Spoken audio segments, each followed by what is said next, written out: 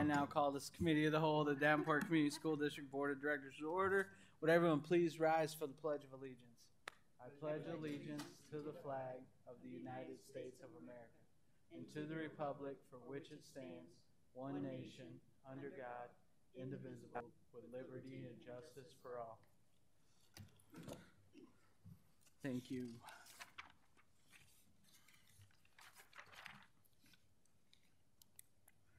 All right, we will move on uh, to subject 1.04, Phase 1 recommendations from Bray. I will turn it over to the superintendent. Thank you. Tonight we have two presentations. The first one is going to be delivered by uh, Mr. Flynn. We wanted to give the board an update um, on just exactly what our transitions have been so far for the school year and and and how we plan to move forward. So um, I just wanted to notate for the record that Director Gordon is participating via Zoom. Thank you. And so the second the second presentation that we have tonight is uh, the first viewing of the recommendation of phase one. Um, and so we'll get into the introducing that afterwards. But we wanted to really give uh, the board an opportunity to see and hear all the work that's gone into the transitioning after the clo- building closures and and the movement of staff. I will tell you, I'm, in, I'm incredibly uh, proud of the work that's gone into these very this very difficult decision, this very difficult time, um, and that that effort has been led by Mr. Flynn and Mr. Ermansky, and they've they've worked their tails off to make sure that our people have what they need during this difficult transition. So, with that being said, I'll turn it over to Mr. Ermansky and Mr. Flynn. Thank you. And I would really like to just thank everybody for giving us a chance to give you an update on where we are uh, and where we're going to be going over the course of the next couple months. Um, first, this has been a really a fluid process um, in terms of all of the, the different balls that are in the air. Uh, so there have been a lot of people with their hands in the work. Um, I, Superintendent Schneckloth just mentioned Mr. Ermansky. Mr. Postcane's been uh, heavily involved in this and there are just a lot of stakeholders uh, involved up and down uh, the aisle who have given their thoughts and helped us to put the best plan that we can in place. Um, so just it, it, has truly been a team effort, and I would just like to. I would be very remiss if I didn't thank everybody for the work that's gone on so far. So that work itself, um, as as you all know, it started in February. Um, teachers were placed into the pool from the three buildings that were closed. Uh, then we had letters that were sent out to all of our elementary families regarding where they would be going in terms of their enrollments from that point forward.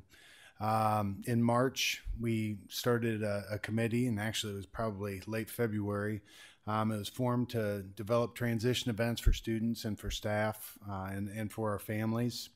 Um, in the month of March was when we uh, had the open or the transfer option request form available for our families, and we'll talk about that in later slides. Um, and in April, we worked very hard to put processes and procedures in place for the actual moves that will happen uh, come June uh, of this school year when our students are out for the summer. And we'll talk through some of those classroom pieces in, in a slide here in just a couple minutes as well. Uh, the transition events that the committee had planned, and the committee, just so that everybody understands the composition of that committee, um, was compri- it's currently comprised of the three principals from the buildings that are closing, uh, three other elementary principals, one from each region in the district. Uh, there are two teachers on the committee, um, both of which uh, are, are special education teachers. And then there are a variety of other um, personnel who show up when they can. Aaron Rome, uh, Jen Van Fleet, Shani Ford, and, and, the ILDs as well. So this group has worked to develop some plans, cascade those plans to their peers and then to the buildings, and to bring that information back so that we're really trying to hit um, our families, our students, and our other stakeholders as we make these transitions uh, or a transition into the district with uh, three fewer buildings. So in April, uh, welcome slideshows were developed and communicated to our stakeholders. These were made available both on district and on building websites, e blasted out. Um, this really was a, a, format for information to be shared in which uh, there was just an introduction, mission and vision statements were shared, social media outlets, um, and parent involvement opportunities at new buildings, um, as long as or as well as contact information for our families so that they could um, just learn a little bit more about the the building that that they would be a part of in the year ahead. Uh, in addition, uh, we had a transition event last week. I think it was like, it might have been the week before. Um, times the calendars kind of run together on me. Uh, but Jen Van Fleet and Shaney Ford put together uh, an event and involved their principals uh, for our families to come learn more about their buildings and to meet administrators um, here at the ASC. In June, uh, we are planning to have building tours available for all of our families and students. Um, these are planned for June 6th at two or June 5th and 6th, two different time frames, uh, one in the morning, one in the afternoon. Um, again, this is going to be a chance for our families to visit the buildings that will be new to them, to become acclimated with the physical structure of the building, and to meet uh, the administrator at said building. So, um, along with that, our principals have been fielding requests from families um, throughout uh, the last three months, and they're really trying to accommodate families as they're making requests for information and to do those things right now. Uh, and then the other thing that's being planned is a transition event for our students and families. Um, we are planning a transition academy in August um, when we return to the buildings. Uh, we are very much in the planning stages here, but we're enlisting the help again of Shaney Ford, who's been um, tasked in the past with the Kinder Academy. Um, so we're going to model our transition academy along those lines. Um, we want to provide meaningful experiences for our students as they enter the building for the first time. We want them to feel a sense of belonging to a new school community. Um, and we're going to be very, very purposeful in planning those things so that kids and families have every chance uh, to feel good about the school year when it starts a couple weeks thereafter. Uh, the the building closures in terms of uh, pieces for our staff. Talked a little bit earlier about the fact that our, our teachers in those buildings and our, all of our other staff, our custodians, our paras, our secretaries, um, were all made away, aware right away that after the, the decision was made that the buildings would be closed. Um, there were a few different timetables involved in terms of the staffing itself. Um, the teachers we wanted to make sure that we worked quickly on um, because of uh, hiring. There were a couple other bargaining groups that actually wanted to wait as long as they could to start the process because they wanted to have as many positions available as they could. Um, so there's there are two different time frames, but uh, in terms of the teachers, uh, our, our HR department, Jamie Weinzierl's leadership just was outstanding. They developed a process that was very, very logical, very sequential, and it was transparently communicated to everyone. Um, and the teachers from those three buildings were placed within two days. And that involved things like providing coverage for classes when teachers had to make decisions, um, uh, having a way of communicating the changes in real time so that people knew what positions were were available. Um, really, all hands were on deck, and and that process really went very very well. Um, from that point forward, uh, we have, we have been openly communicating with our teachers and our staff about uh, timelines for moving materials from buildings. The plan right now is to have all of that done, and I think I'll go into this a little bit later, but um, have that all done in the month of June. So we'll have a week where we're moving teachers and staff's belongings from Buchanan, one week from Monroe, one week from Washington, and there's a schedule laid out. Um, and Josh's team and his team have done a great job of readying things so that um, teachers can pack their things. It can be labeled and it can be um, taken by region on different days during the week. So um, we feel pretty good about the plan that we have in place right now. Like I said earlier, there there are things that continually come up and force us to reassess where we're at, um, but we we feel good about where we are.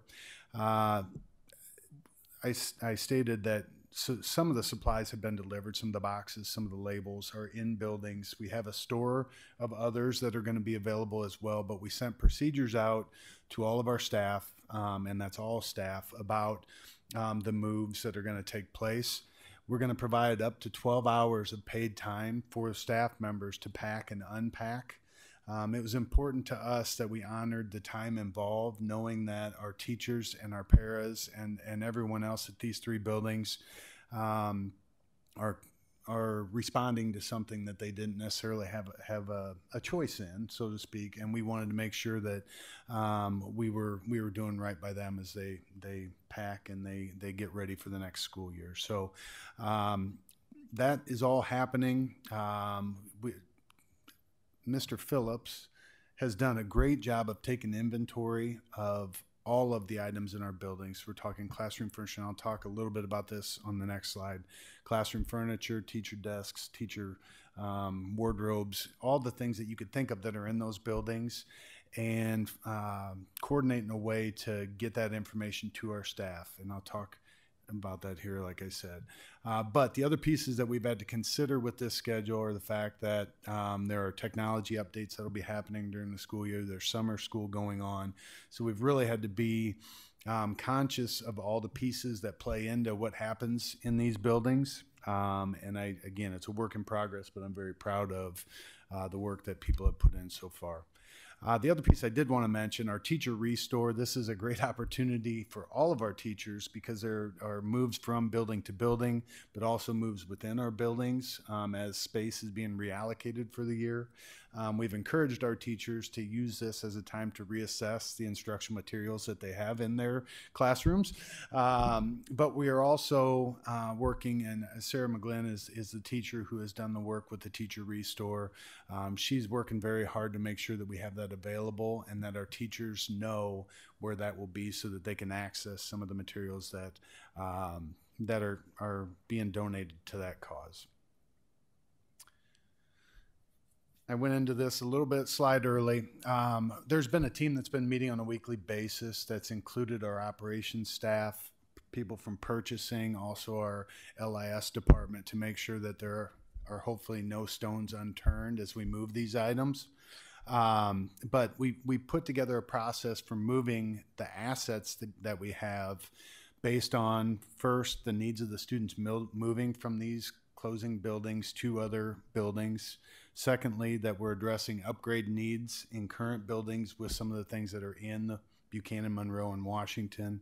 And lastly, based on principal requests. So um, a process has been set up where principals can they can see. Um, Brian Phillips put together a spreadsheet that has hyperlinks to pictures that I could never do myself, but our principals have access to this information so they can see the assets that are there and available, and they can then um, fill out a form requesting those assets. Um, you know, once we once the dust settles. So um, there's a plan for all of that.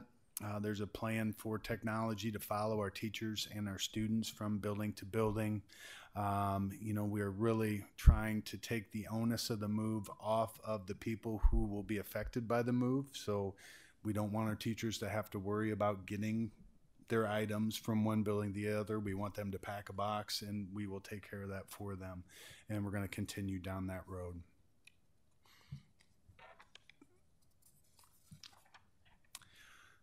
The uh, request for transfer option as we talked about earlier, um, these requests were done uh, utilizing a Google form.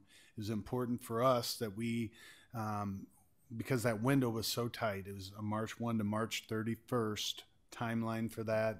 We needed to make sure that we had timestamps and that we were doing everything in a, in a process um, that could be easily understood and that we could um, have the information needed to explain decisions that would have to be made regarding our transfer options. Um, we have had staff, and I have to tip my cap. Kelsey Nyrink is the administrative assistant that has put a lot of time into the um, process itself of this request was made. Here's how much space is available, et cetera. She's done an outstanding job of, of really owning the the process itself. Um, and the requests were processed and are we're almost to a point where we will be communicating this with everyone. We were hoping that that would go out in advance of today's meeting. Um, however, we ended up having 738 ish um, requests for transfer option. The logistics that went into that um, just caused it to take a little bit longer. But we are we are optimistic that the communication to families will go out in the, the days ahead. Um, but we base those pro- those requests on first families who are displaced due to boundary changes. Secondly, families requesting to stay put at buildings and then third, just kind of the traditional transfer option. So that has been the sequence of, of how we've tried to structure that. And like I said, we're hoping that the, the communication will go out to families this week. That is the hope. So, um, again, I, I made mention of Kelsey, and I'll leave that. She's just done a great job.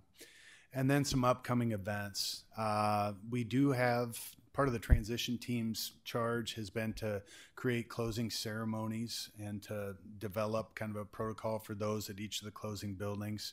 Um, so Buchanan's closing ceremony um, is set right now for May 11th from 5 to 6:30, and there will be invitations coming out as well, just so that I, I, don't want everybody to think this is the only time you'll be seeing this information.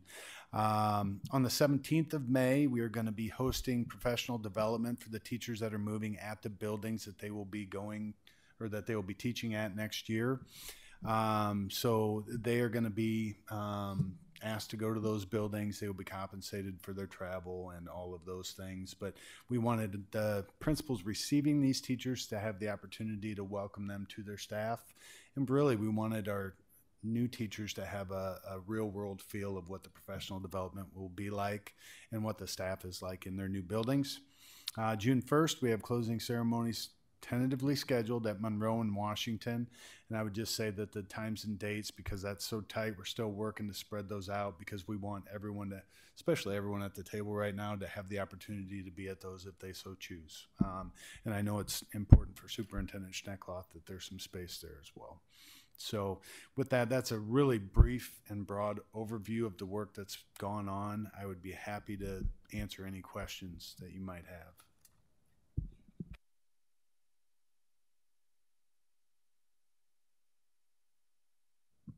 Director Beck. Um, I, I have a couple of questions. Um, so uh, I love all the recycling of everything, or the the teacher restore. That's a great idea. Um, so actually, I have three questions. Were all the teachers able to be accommodated that wanted to be accommodated? Um, like all the teachers and all the staff any paras that requested to, uh, that weren't planning to leave the district accommodated with positions and everything. We didn't have any issues with that. Yes, and at this time, all of our teachers um, have, have been placed into positions in okay. the district. Um, we are still, our paras, that process has just begun for okay. them.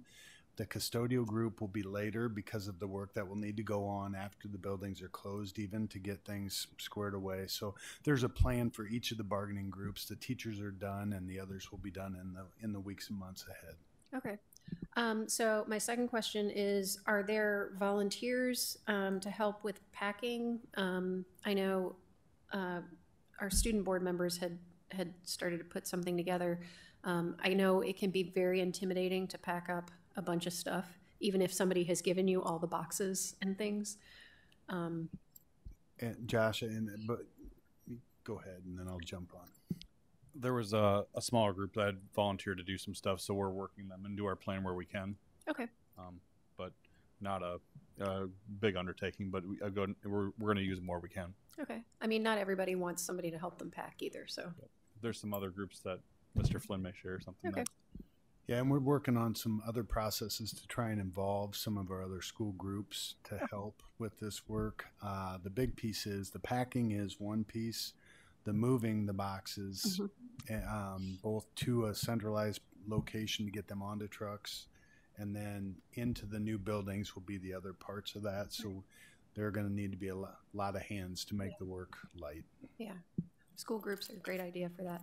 Um, so my last question is about transfer options.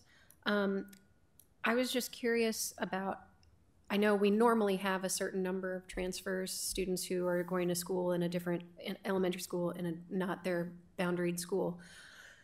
Compared to a normal year, have we seen an uptick in requests to go to a school that you're not boundaried in, or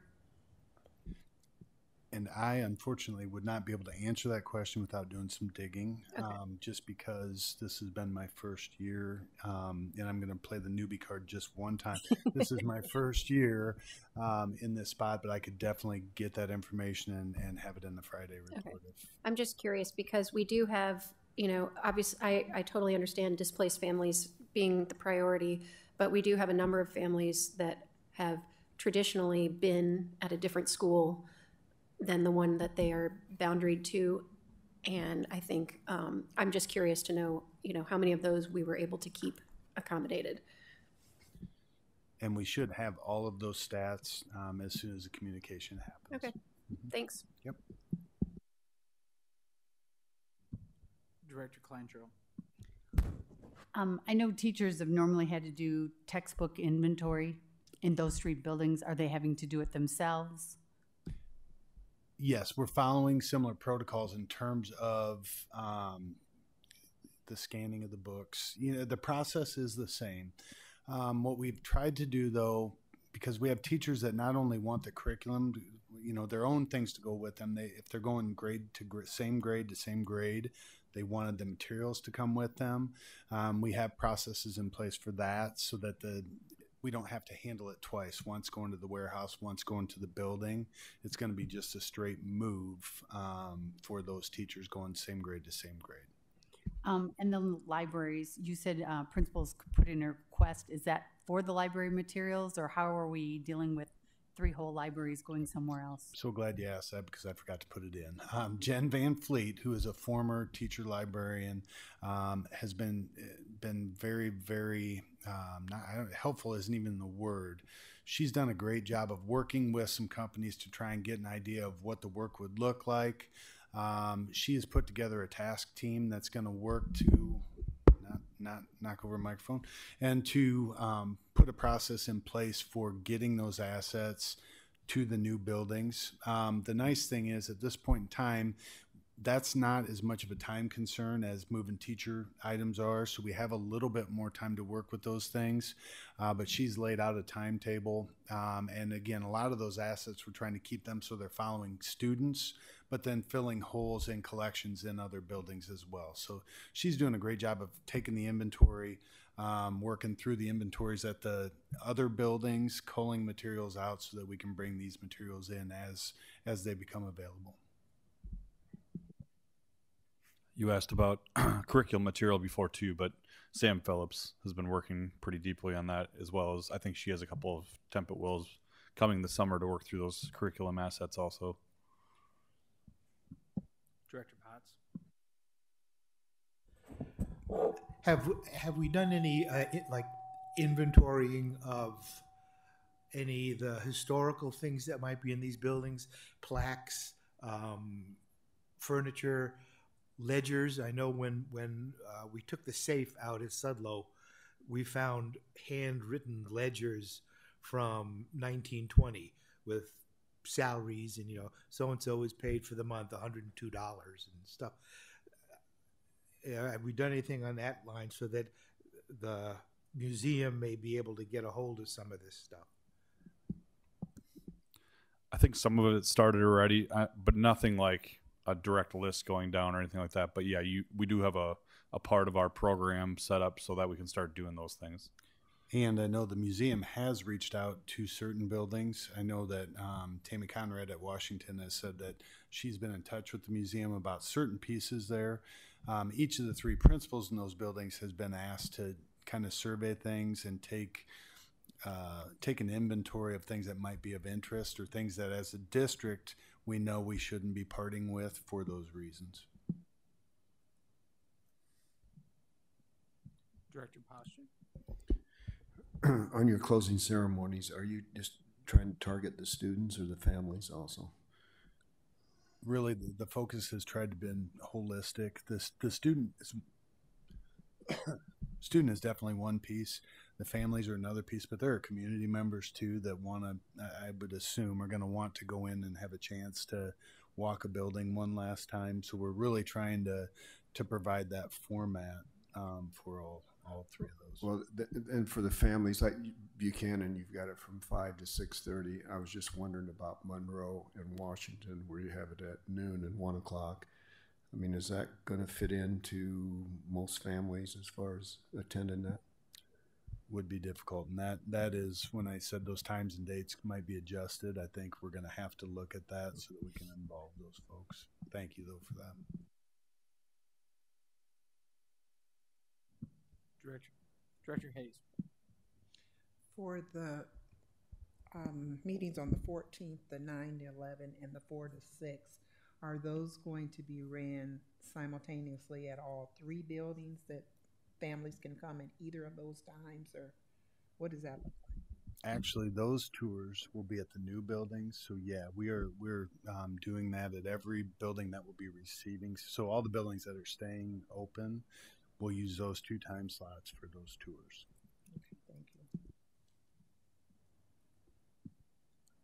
Director Gordon, did you have any questions?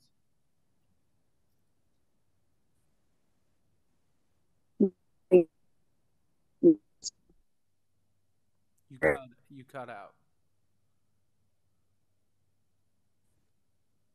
Already, thank you.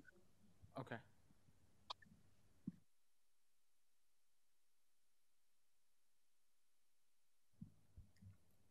Uh, Director Poston actually asked the question I was going to ask about the time slots. Um, but from this perspective up here, I think the process has been very transparent. Um, I think the districts went above and beyond trying to meet people where they are to make sure people are informed and all that. And I'm glad to see about the uh, closing ceremonies and things like that. I think it'll be a, a cool thing, and maybe people want to walk away with a brick from a building or something. Who knows? So, and then you got a second part of this. Does anyone have any questions on this first part? Uh, John and Josh, thank you so much for putting that together. John, I know you have got somewhere to go, so thank you for sticking around. Appreciate it. John John did the majority of this and he did a great job. So just give him all the credit. He's been doing a good job the whole time. doing He gave a lot of people credit, but he deserves it. Absolutely. The second part of our presentation is the initial look at phase one um, recommendation that we're hoping to have voted and approved in an upcoming meeting um, so the work can begin because it's very important work. There's a couple of key things that Josh and I want to highlight uh, before we get started, and, and John, in John's fashion, is going to highlight those same things all throughout the presentation. Um, it's very important for the the cadence of this information to be um, to start with the board, and so while we have mentioned and talked about these things, the first initial blush had to be here with the school board.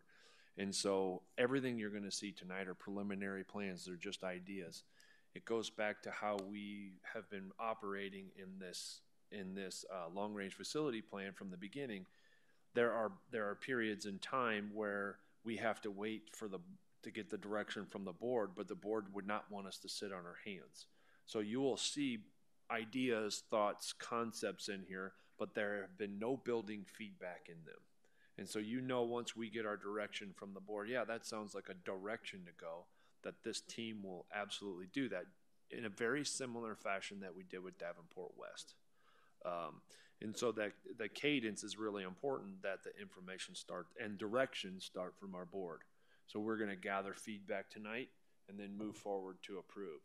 The second component of this is is that we we have a, a dollar amount range, and it's really really important to know that Kevin has been going back and forth with Susan Gerlach um, to really start nailing down those numbers.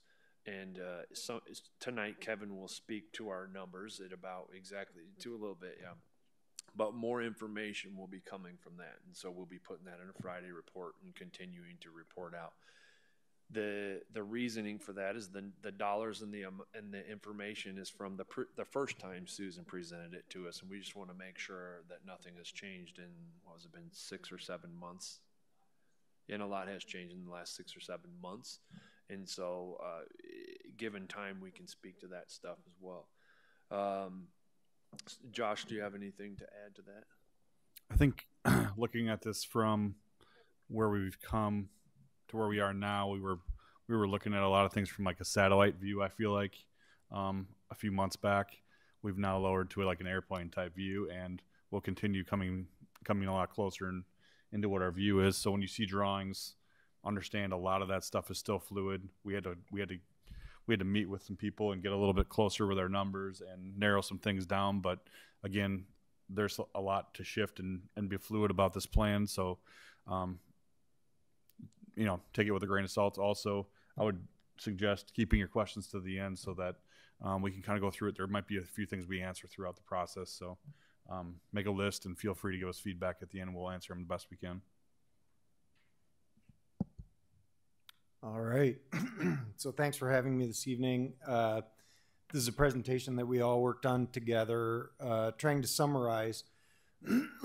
um, back in March, when the board met and we talked through uh, a potential listing of phase one goals, that set the stage of where our investigation needed to go uh, to further our efforts. And so uh, this presentation tries to capture that. So we're going to start by just quick highlight of what is all included in the phase one listing, cover a couple of highlights, and then talk just real uh, 10,000 foot view timeline, possibly some future phases of, of consideration, and then we'll kind of go back through and discuss in more detail as, as you would like to uh, uh pick back through these uh, projects. So, uh, the first thing that everyone wanted to note is that what's being shown are all the highest priority projects. So,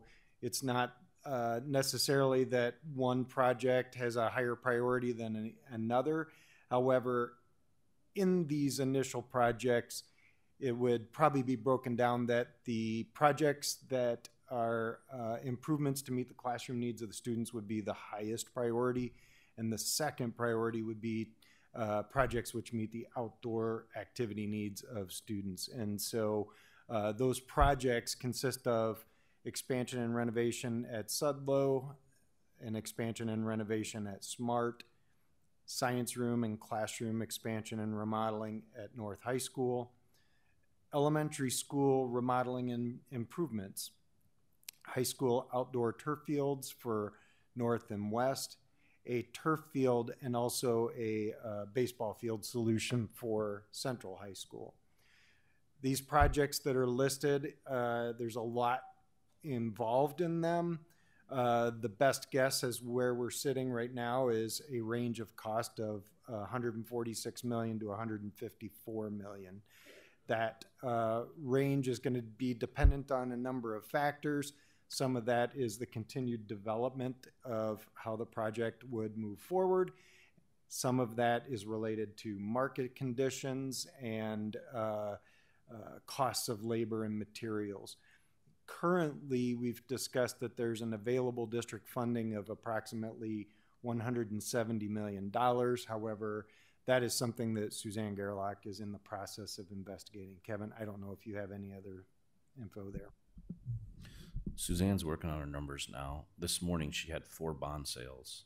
So when TJ mentioned six, eight, whatever months ago, we all know the markets have changed significantly, let alone the cost of materials and so forth. But she's going to have a much better feel for where that's at. She also knows where sales tax revenues coming in. So all those variables that were discussed at a prior meeting where she presented all have changed a little bit, and she's going to update her numbers and be able to get us dialed in to a, uh, an appropriate amount. So the other thing to note is this is not an attempt to spend all of the money. There's a, a goal of reserving back a certain amount of funds because there is a need to utilize those funds for regular ongoing uh, needs within the district. And so, uh, again, it's trying to uh, back off some of the ongoing annualized need from the district and working within a, a range of, of available funds after that. As we look into the to the projects again, Sudlow, Smart, North, something that happens at all the elementary schools, and then something that happens for each of the high schools. These are uh, developed through uh, the Long Range Planning Committee, involvement of the district leadership, the cabinet, uh, building principals have been involved, and uh, that group will have to continue to grow so that we get more voices involved in this process as, as we go. What we'd like to do is just talk a, a little bit about what's involved in these projects. Uh, you will see some floor plans. Uh, those are uh, quick shots at resolving some exploration of need uh, to help us understand is it possible or not. And so those are not a final answer, those are not the best answer, those are the answer that helps us understand are we able to move in this direction and keep moving forward. And so uh, we'll talk about the thought process, but know that there's a lot of work to be done as, as we look at those. So we're going to start with the middle schools. Sudlow and Smart. So an addition and renovation would be uh, needed at both Sudlow and Smart, uh, now identified as middle school buildings, uh, considering that they would be six through eight curriculum. Uh, as we've talked in the past, the existing seventh and eighth grade programs have moved into pretty much any available space within the existing building um, which is used to provide uh, curriculum, programs, and services for the students that are currently attending there. So improving those buildings would allow sufficient space for all the grade levels, plus provide the necessary space to house the additional resources, programs, and services, uh, which would help improve the student outcomes given the fact that we're going to now have a greater number of students within those buildings and recognizing that what you teach and how you do it has changed over time since uh, those buildings had a larger capacity within them. Uh, this also gives a chance uh, to improve and enhance the vision of education within the district. Uh, this would give you the idea of creating a new and improved environment that will help, again, retain students in the district, attract new families, and uh, also help in uh, attracting and retaining staff that works in these buildings. at Smart and at Sudlow, the addition and renovation uh, is based off of what is necessary to support a middle school curriculum. So that's the seventh and eighth plus the addition of sixth. It'll uh, it is um, an approach that um, also will give us the opportunity to correct a lot of issues that we found through the facility study process. So when we talk about costs related to smart and Sudlow, we're going to try to fix all the things that we've identified as problematic in those buildings. We'll be able to provide needed uh, collaboration and flexible use areas, uh, which also will give us the ability to increase sight lines and, and enhance supervision within the building. Uh, a general approach to enhance safety and security in the building is necessary as we grow those buildings to handle this, this new setup. It's also important that we are able to try to adapt a house model within the academic wings of the building. And in that, it's best described, unfortunately, John Flynn left, but uh, he says it very well. It's that we're trying to take a big building and make it small. And so, for each of the grade levels, trying to create a smaller community within the building, which uh, does help uh, improve the relational and social development of those students. It helps improve uh, student academic engagement, and it is an environment which is proven to enhance uh, student outcomes. Um, Sudlow and Smart were identified as the initial projects of all the middle schools because they do have the most need of all the middle school buildings. So we're going to start with Sudlow. Some of the highlights. Uh, we do need to expand the cafeteria.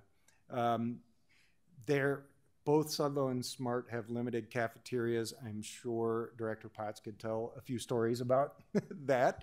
Uh, but this gives us the opportunity to improve this efficiency for how lunch is handled, which uh, should result in better control of the students within that zone, which also will help uh, provide more instructional time because we're not bogged down with trying to cycle a lot of kids through a small amount of space. Um, we do need to provide additional classroom space to meet the needs of additional students and also additional programs, as well as to uh, re envision the buildings with a house approach. Additional gymnasium space to provide uh, uh, opportunities for more instruction. Uh, it is hard to handle the number of students in the buildings, uh, even as they are with a single gym. Uh, having a double gym or something larger just gives more opportunity to have additional program time. Uh, at Sudlow, it's very important that whatever solution we uh, employ here works with maintaining the Creative Arts Academy space within that building. So uh, both that's an asset to the building, but creates a burden on the solution because that takes some of the space that we would otherwise uh, be able to utilize. And so that might mean a, a little bit larger addition is required there. Uh, other goals for Sudlow were trying to improve and enhance spaces related to FCE, CTE, and STEM. Uh, in fact, STEM is something that is uh, not super prevalent. And so to be able to include that there becomes an enhancement for the students and an opportunity as they prepare for moving into their high school experience. Uh, could this, could you tell us what FCE, CTE, and so uh, FCE is uh, Family and Consumer Sciences. So uh, uh, think of your uh, traditional kitchen type of setting within a, a school building. Uh, at Sudlow, that's a, a room that's uh, old and uh, needs some needs some attention. And uh, CTE is best thought of as your traditional industrial arts or vocational technology programs. And so uh, it is important to start to give students an introduction to those programs and courses, again, as they're preparing for their high school experience. Um, Sudlow is a large building on a very small campus, so it is very important to try to improve site safety, logistics, parking, and also still maintain good opportunities for playgrounds and green space and hardscapes so that uh, we're adequately covering the needs of outdoor activity spaces. Uh, to do this, it would require the removal of the Washington Elementary building. So from a snapshot view, uh, this is looking at the Google satellite image of the Sudlow uh, campus. Uh, you can see where Washington currently sits is identified as creating green space and some additional parking. Uh, recognizing again that uh, as we bring more students into the building, we're also bringing more staff and uh, for special events that also uh, creates a need for more parking. So more parking, making sure we have opportunities to better separate cars and buses uh, and pedestrians as we're moving about the site. So some of that's uh, considered as we start to look at how we plan this out. Uh, also, the opportunity to get uh, some hardscape and playground that moves up a little closer to the building just to help with supervision, control, and access to those spaces. What's shown in red would be a potential uh, footprint of an addition to that building, and then the on the left is the uh, kind of the white footprint of what is the current Sudlow building. Sudlow is a tough site because it's long, narrow, and it's uh, bounded by a very busy street on the south and uh, constrained streets on the other three sides. So logistics are going to be a challenge no matter how we approach it. Uh, brown would be playground, and gray would be hardscape, which could be like your basketball courts or paved spaces that, that students want to play on. Uh, one thing to keep in mind at, at uh, uh, both Sudlow and Smart, some of the comments we've heard is it's really important to have those uh, playgrounds uh, basketball courts and green spaces because the community in those neighborhoods tends to make really good use of that. So we, we want to make sure we keep those uh, available uh, to the to the neighborhoods. If we were to start looking at a floor plan, I'm not going to explain every single space. It's more to give the idea of how we might start to approach this. As TJ said, uh, this has started with a, a very uh, broad view working from leadership and cabinet. Um, as we get to the timeline, I'll talk a little bit more of how the engagement process works. But in theory, we start with a general idea of can we do this on this site? Is it feasible? Does it fit? So we, we've been exploring this. Uh, we've had some recent conversations to say, okay, are we shooting too far? Do we need to pull back a little bit? So we've we've started to uh, tighten the belt a little bit to make sure we're not overdoing this. Uh, there's more to do, uh, and that more to do will include better responding to the needs and the uh, the uh, opportunities that exist with with uh, a project like this. In general, what you're seeing, the piece on the left is the existing first floor of the Sudlow building, and then what's shown in the uh, orange red uh, color scheme on the right would be a potential addition. Um, part of this is an opportunity to uh, enhance the cafeteria space uh, or improve the opportunity for cafeteria. Uh, so maybe taking that old gym and turning it into a cafeteria, attaching a double gym to give uh, more opportunities for PE and instruction, providing in that addition uh, additional classroom space that could cover the needs of a, of a grade level house, going back into those existing areas in the building and sort of re-injecting uh, uh, other programs or rethinking how those spaces work to provide for some of the programmatic needs in the building. Um, as we jump up to the second floor, what you're going to notice is Sudlow would require a two-story addition. Uh, again, as we've talked, Creative Arts Academy is uh, a really great asset in this building, uh, but it does uh, take a good portion of the footprint. Uh, so we uh, have a second story addition that covers a lot of what is needed for additional grade level classrooms, again, to set up for another grade level house in this building, going back into those existing building areas and starting to uh, update and remodel and rethink how those might uh, come together. Um, if you notice on the first floor, it's really uh, a process of trying to establish a good uh, circulation path around the building, multiple opportunities to get through. It gets a little more challenging as you get up to the second floor. Um, we are trying to uh, uh, minimize the attachment point. It, it helps us in, in code if we do that. Um, and then when we get up to the third floor, we do not need a third floor addition However, we would want to go back and again start doing some additional remodeling and improvement within that building.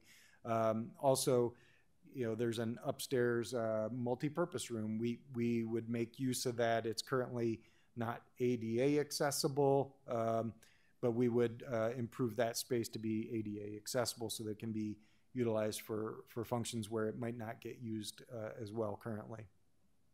If we jump into smart, um, a lot of the same things apply at Smart as what you just saw at Sudlow. So, additional cafeteria space to improve that efficiency uh, and, and help uh, produce a little better uh, supervision and control and create a little less time in lunch and more uh, instructional time for students. Additional classroom space to meet the needs of the additional students and programs, uh, as well as respond to that desire for a house approach in the building. Additional gymnasium space, uh, just to give a little better opportunity to create that instruction time for PE and large motor skill activities. Uh, improve spaces to allow that integration of FCE, CTE, and STEM. And then, like Sudlow, uh, improve the site safety uh, resolve some concerns with uh, logistics, parking, and create more opportunities for outdoor student activity spaces. Like Sudlow, uh, this uh, solution would also require the removal of the Monroe Elementary School building. So from a bird's eye view in the uh, Google helicopter, you're looking down on the what is really the entire campus, uh, Fourth Street down to the very south. Um, the smart existing building footprint is in, in white in the center. You're seeing uh, potentially the footprint of an addition off to the east of that building where Monroe currently exists. That would be utilized to uh, uh, help us create additional green space, some hardscape, uh, playground, and, and outdoor activity space, creating some additional opportunities for parking. And then again, there's some district property up at the north that could be better utilized for some additional parking needs. Um, there are discussions about um, adjusting the street so that it is district owned and is utilized only for drop off and pick up. And uh, then we can start to help uh, change some of the flow of, of how traffic moves in that area. This is also a site that is tough. You've got a busy street to the south, and you've got some tight neighborhood streets on the other three sides of this property. So it, it's going to take some work to make sure that we're appropriately resolving some of the site logistics as it relates to buses, cars, and pedestrian traffic around the site. Uh, trying to create some closure in the street would help facilitate the movement of students and staff as they move between uh, green space, outdoor space, and the building itself. If we jumped into the first floor of the building, um, what you're seeing is a, a, kind of an addition plan to the right side and the existing building on the left side. And it's a very similar approach, except there's one big difference. Uh, at Smart, it's only a one story addition. Uh, not having that creative arts footprint uh, creates a little bit more opportunity to uh, recapture and, and, rethink some spaces in the building. But uh, in, in the existing building, it's really rethinking uh, how we might be able to go back and start filling in program and enhancing some of the spaces within the existing building. Maybe using that current gym as a cafeteria, adding a double gym to create a better uh, space for those PE and, and uh, physical activity spaces. Um, creating a uh, series of classroom spaces on that first floor, starting to resolve that approach to uh, the, the house approach per grade level. And then as we jump up to second floor, it does become a, a solution of reworking how spaces are allocated and distributed throughout the building for resolving the needs of the grade level houses, as well as accounting for some of the instructional and curriculum needs within that building. And then the same would apply again at the third floor level, uh, just again, providing adequate space for grade level houses and the, the program and curriculum needs of that building. If we jumped forward to North High School, uh, the most dire need at North High School is the science rooms. These are rooms that were built originally uh, as a uh, middle school uh, approach, and so uh, they're small, they're old, and a good portion of the walls within this building are what they call demountable partitions. Those were never meant to be permanent walls. They were meant to be movable, which cause a lot of issues with noise and uh, safety and security. Just they're, you know, they're uh, they're not real thick, and they're they're uh, uh, probably not often moved, even though they were made to be moved and flexible. Um, the idea here is to create new science rooms, which would allow us to recapture that space and handle some of the needs of uh, updated and improved classrooms within the building. Uh, it's been expressed that uh, just a facelift to help and improve and enhance the main 53rd Street uh, um, facade of the building, um, which uh, would also give us an opportunity to improve and enhance that public secure entry on the south side of the building and uh, update and enhance the secondary student entries within the building. It's considered that it, it may be possible to look at a uh, addition of a media center space, which would again allow us to go back into the core of the building and, and update for some curricular spaces in the core of the building uh, where they might be very impactful. Uh, so reconfigure the existing science classrooms and library to create new and improved classrooms and collaboration spaces.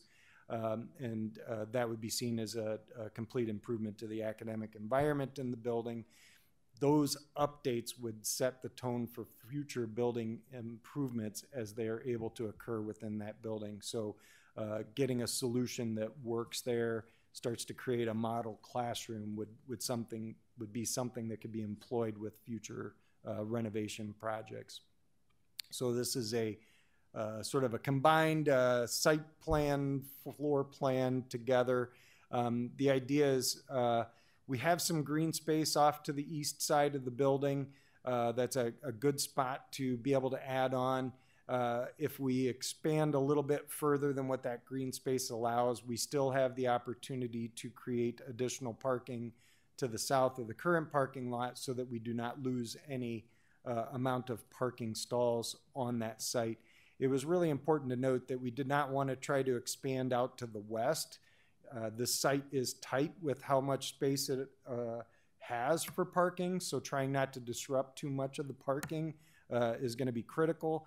And to the north side of the building is a lot of that critical outdoor space that get, gets used uh, a lot. So, uh, in addition, the backside of the building has a lot of program spaces that make it a little bit challenging to look at adding on. So if we really look at keeping those curricular classrooms, uh, both in terms of addition and renovation, kind of in that core part of the building, it, it seems to make sense. So the idea is to consider a, a, a science room addition to the building that's about eight science classrooms, which would allow us to go back into that uh, current science portion of the building and uh, we would try to recoup enough space to get eight uh, updated and improved classrooms, as well as some flexible use space in that building that's much needed for uh, small group interaction, special ed, and, and some other functions that occur there. If we were able to move the media center off into an addition, we can actually start to rethink that space at the very core of the building to uh, get some uh, additional improved classroom and instruction space and a little bit of collaboration area that's right at the heart of the building uh, where it might be very beneficial to the to the needs of the students there. Um, that takes us into some other high school needs.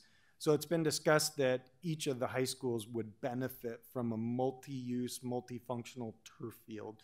Uh, that'd be something that could be used for practice, possibly competition, uh, but it would be used for outdoor uh, athletic and activity programs. So think of it being used for a multitude of sports, uh, PE, fitness, and, and other opportunities. Um, the idea, and, and we showed this picture before, but it's to create some kind of a field that is striped for football, striped for soccer, possibly has the line work and uh, set up so that it could be used for baseball or softball, uh, as well as any variety of other program needs. Um, we are showing a picture here of a double field, so two full size soccer fields side by side. Uh, one thing to note is for any of the high school campuses, we don't have enough space to do a double field. So, what we're talking about is half of this, which would be a single field so it would be a single soccer, football, baseball uh, combined. And it is uh, still going to be a very beneficial, multi-functioning space that can be used uh, throughout the year, uh, uh, any time of the year, which is be a benefit to each of the schools. Um, we feel that there's adequate space to be able to handle the single field approach at West and at North on those campuses. However, at uh, Central, we'll see in a couple of minutes, it, it probably needs to occur at the Brady Street complex.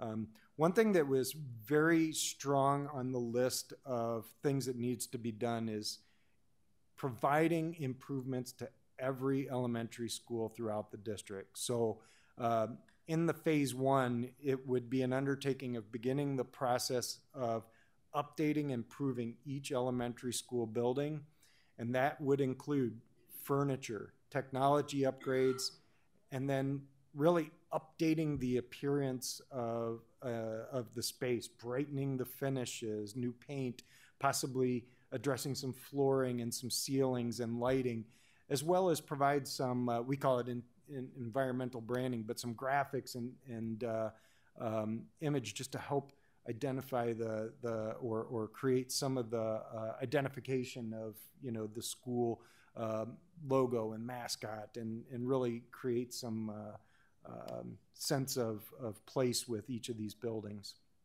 Um, and as, as we've looked before, um, some of the classrooms in our district are, are in great shape and some really need some some update. And so there's a variety of ways you can start to improve that but just the injection of color and uh, the type of furniture allows uh, students and teachers more opportunity to be flexible multi-use uh, try to uh, better suit the needs of how they need to deliver the curriculum in their classroom.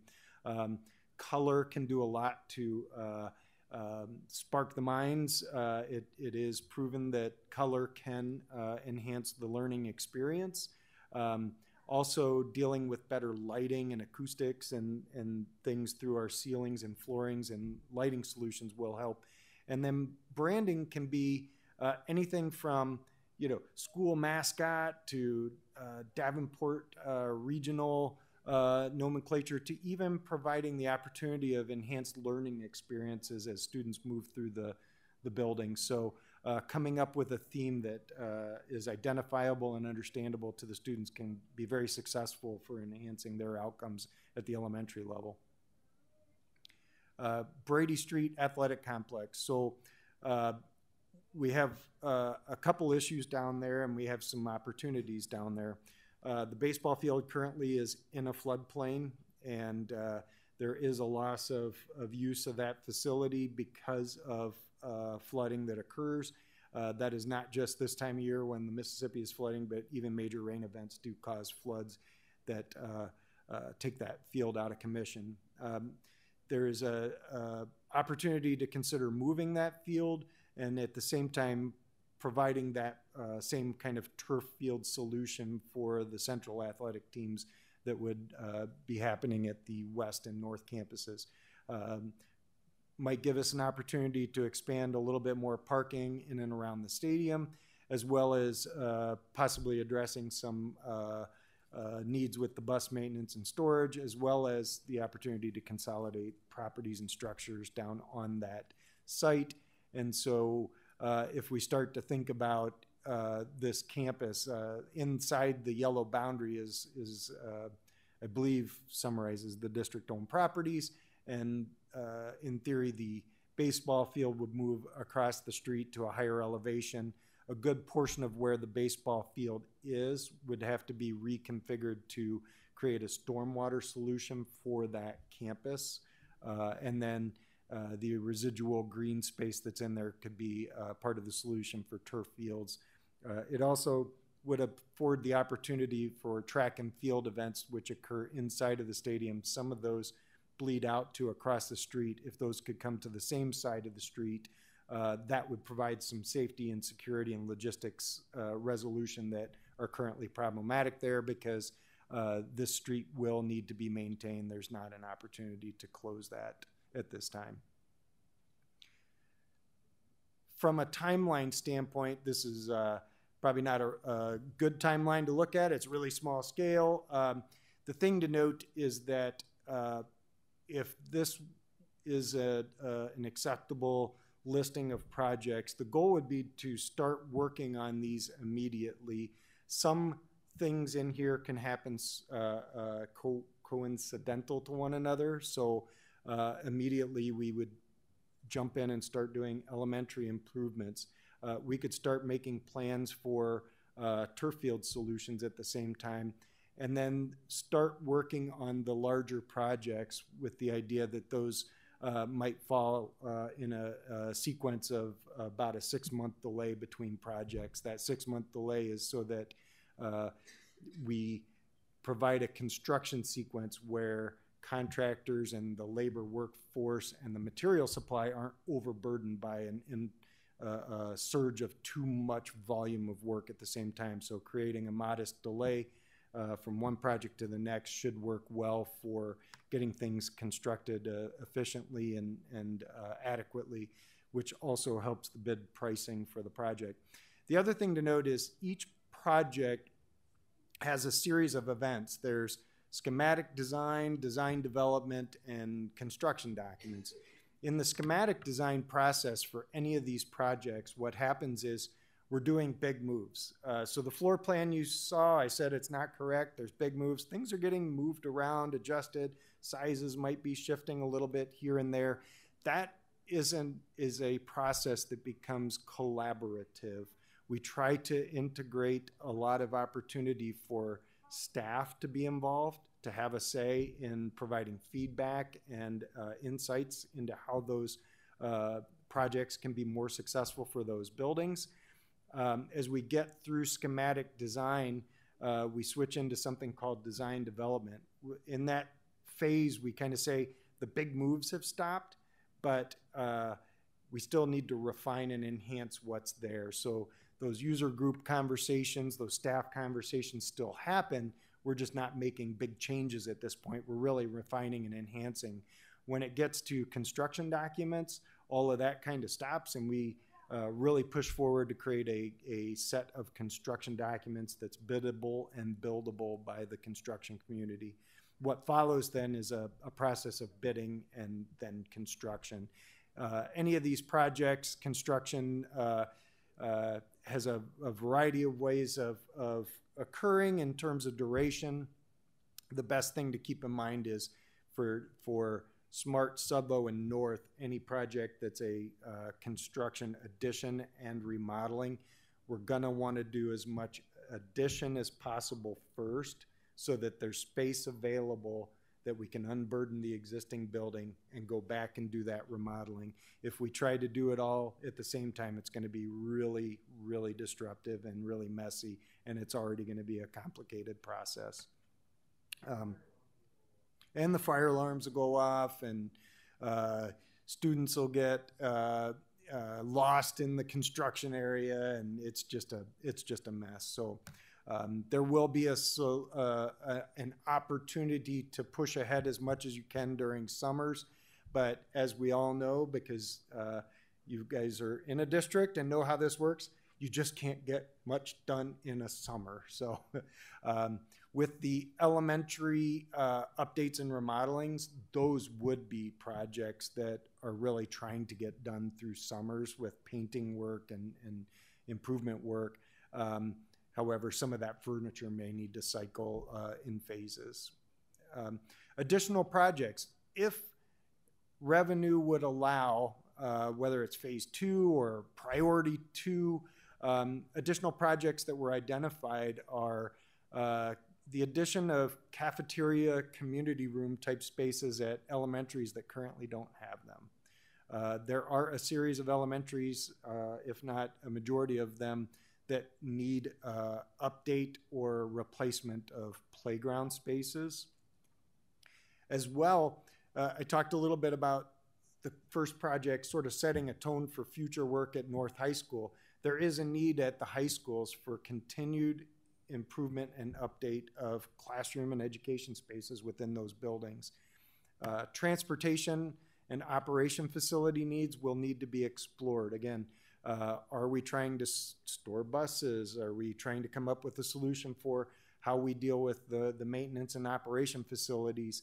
Uh, which actually kind of ties in with a review of all ancillary properties uh, that are uh, owned and utilized throughout the district.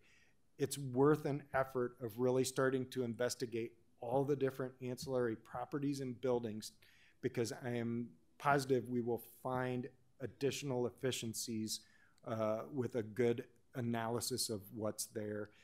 And then the other real big thing is, uh, as we've talked, once we uh, embark on uh, the middle school curriculum, it gives us the opportunity to really start strategizing that preschool solution throughout the entire district.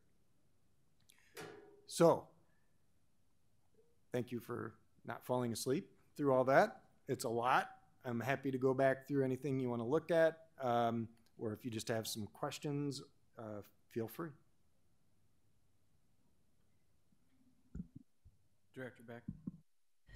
Um, I just noticed when you were, first of all, thank you. This is a good, uh, very informative presentation. Um, I noticed that in the, um, the Sudlow and Smart remodels, both of them end up creating like a courtyard um, between the old and the new additions. Is there, you said something about code, and so I was wondering, is there a reason for that? And is that a space that's usable for learning, or is it just going to collect dust or? Yes and yes. Um, so there is a strategy strategy to creating courtyard space. It is hard to smack an addition right up against a building because the first thing you do is block light and air. So having that courtyard space does give the ability to have open windows, access to natural light. We have found that uh, if the size and arrangement of that courtyard uh, is planned out carefully, it does provide for some uh, contained outdoor activity space. Uh, we have had uh, any variety of solutions that's uh, some playground space, some outdoor classroom space. Uh, we've done it with uh, even just some uh, playground paving, but using it more as like a large motor skill, just movement space. there are a lot of different things that you can do there. it just takes a little bit more exploration. Um, unfortunately, courtyards do catch some of the dirt and things like that. So uh, what we try to do is avoid. Um, I think some of your buildings you might walk through now and see a courtyard that's got a lot of overgrown grass, and the first thing you got to think is, how do I get a mower in there? Uh, people tend to try to plant trees in there. How are you going to get the leaves out? We we want to try to avoid those, and so um, making it a, a, a useful space is going to be beneficial. I, I like your description of a like a hard kind of a harder playground surface. I'm thinking we should call it a wiggle room. Director Potts. Williams has a courtyard space, and for years, a pair of ducks went in there every spring, nested, and the kids in the building, the kids in the building would, would watch those ducks, watch them hatch, and and then they'd open the they had access outside access, and they on a certain day they'd open the doors, and the ducks it, was like what is that hotel down there where they march the ducks down and the ducks would march out with the little ducklings out out the door. They had a pine tree in there. Con- consider that an an introductory to ag program. There you go. That'll make Maxwell happy out at North Scott. I did have a, a just a comment, I, and I, I have I have I have a lot of questions that are too specific to be answered. Okay, so I'm not gonna I'm not gonna ask you about access to the bathrooms is it going to be doors or is it going to be no, but I'm, a, I'm I'd like to assume in the, these projects some attention is being given to the music rooms specifically at Sudlow. Uh, because when when the programs are booming, space is is it's hard to get 86 eighth grade band kids in some of the band rooms. The one band room is the old library is is big enough room. Yes, that was part of the Sudlow conversation. Band is uh, very successful there, but there's only really technically one band room. There's an additional space that's choir orchestra that gets used for band a lot, and so trying to create a solution that gives more space for that program.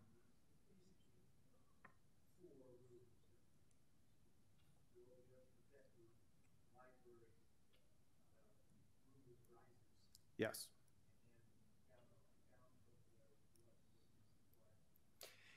Yeah, and and and uh, just affirming what you've said, uh, just talking to uh, the building administration there, that that was that is a problem currently.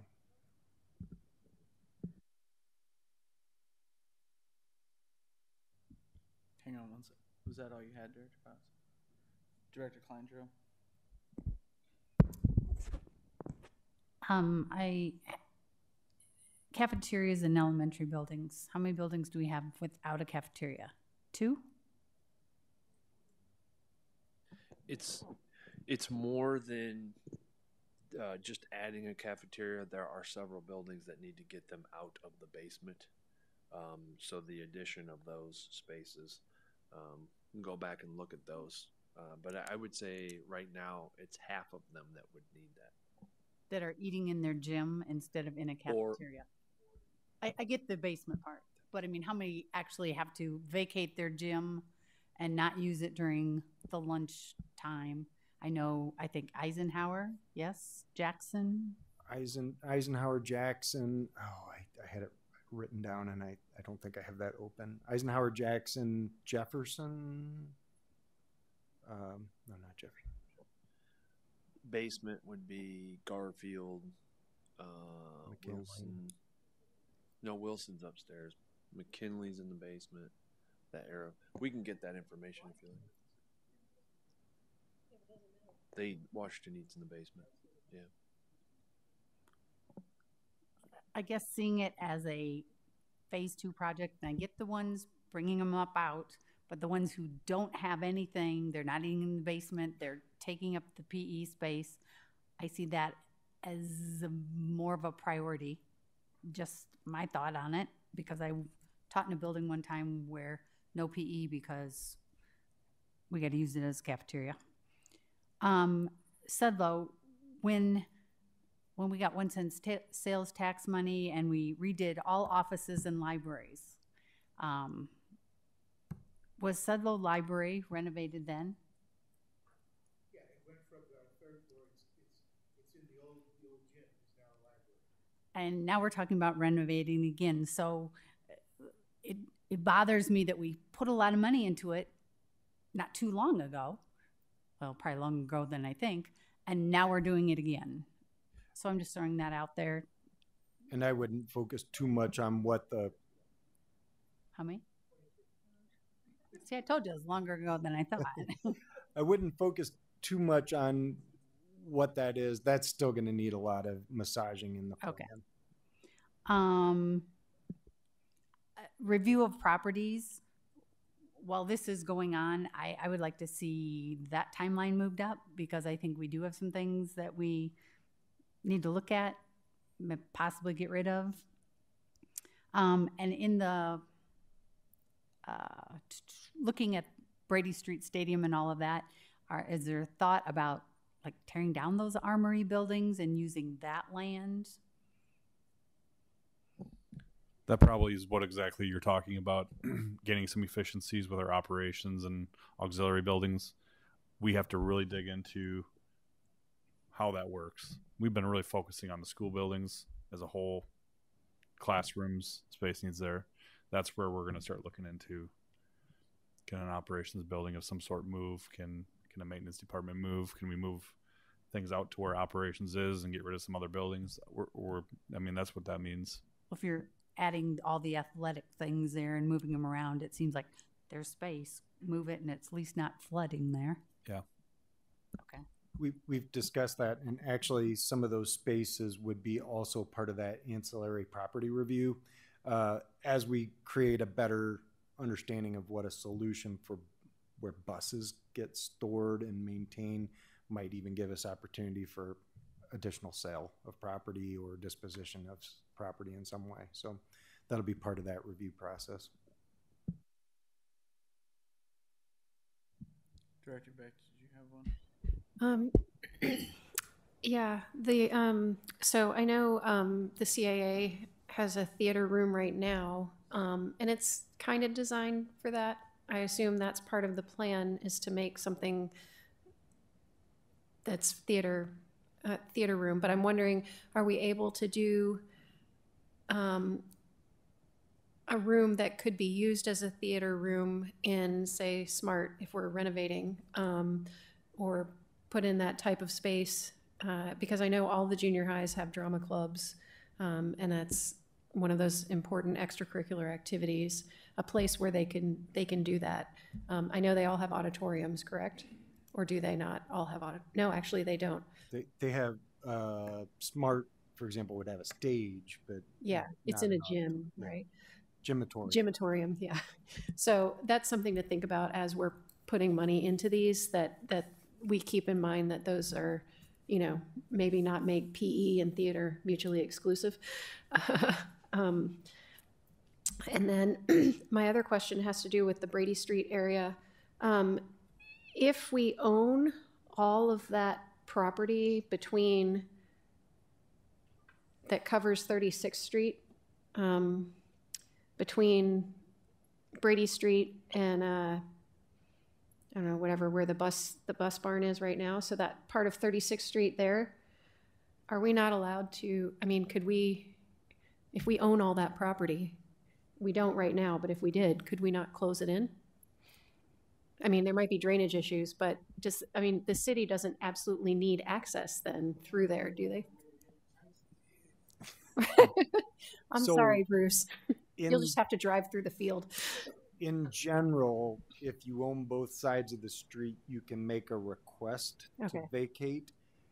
However, in an area like this where it might be considered a primary access route, uh, which in this case connects from Kimberly to Brady, uh, the city doesn't always uh, entertain those Okay. requests. Um, TJ? We asked, and it was um, a no When was that? uh, about a month ago. Oh, okay. All right. At our city meeting for exact reasons for safety and, and Yeah. the thoroughfare that that cre- there that is there. Okay. That's a pretty heavily Yeah. traveled road. I, I would add that it sounds great to close that street. However, part of the parking solution would require that you have vehicular access partway anyway. So Oh, yeah. you would actually run the risk of additional logistical problems if you have parking at one end and the other and you only had Yeah. uh, hard paths to get there. So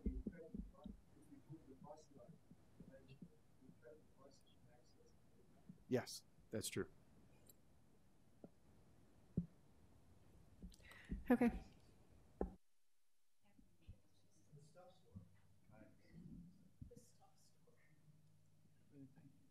Director Posh.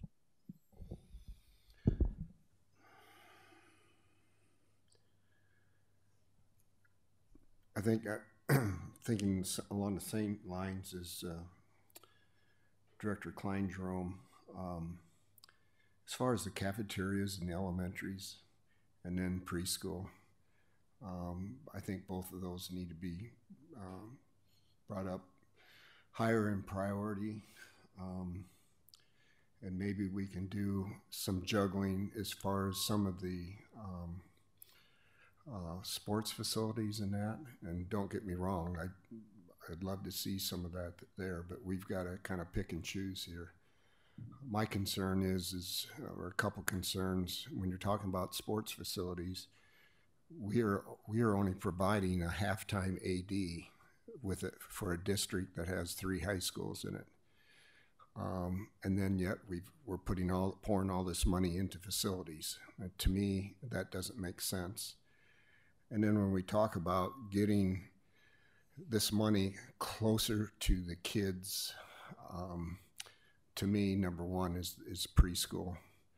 Um, and then again with the cafeterias, we we've got to come up with something bit better. Uh, I'm in the cafeteria at Madison almost once a week, and that is yes, it's a separate uh, area, but it is not ideal. Um, so if we're talking about getting, uh, you know, getting the money uh, closer to the students, um, I think we need to move that up and um, put more priority on it. Now I realize we need the room for the preschool, and so that will probably require some remodeling or additions at some of the elementaries. But um, I just, I just don't think that we want to put off uh, with the preschool because again, if we can get our touches earlier on these kids so that they get exposed earlier, that makes a lot of other problems go away down the road.